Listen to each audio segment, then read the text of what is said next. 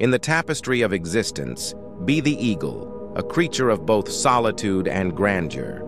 Let your wings carry the weight of your dreams, soaring beyond the boundaries of the familiar, and with every majestic flight, carve your presence into the skies of destiny.